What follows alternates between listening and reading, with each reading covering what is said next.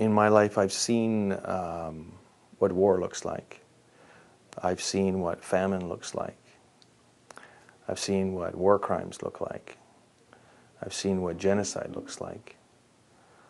I've seen what um, epidemic disease looks like. I know that we're capable of that, of all of those things.